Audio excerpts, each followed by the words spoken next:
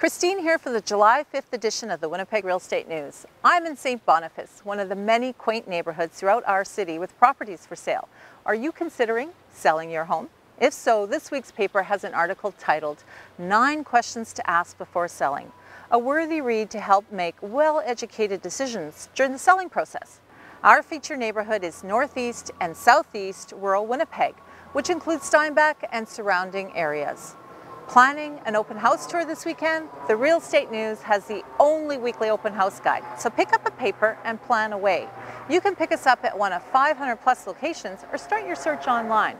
We are the best source for real estate information in the Winnipeg metro region. Have a great weekend, everyone.